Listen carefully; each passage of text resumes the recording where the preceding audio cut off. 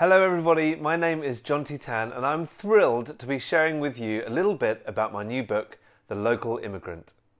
Over the past two years, I have been blown away by your interest in and your comments on my story as a third culture kid and a returning son of Singapore.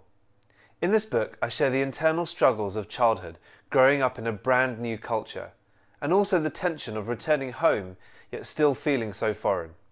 I'm also looking forward to meeting many of you at one of the book launch events, the details of which are below, or you can find by scanning this QR code now. We'll see you soon.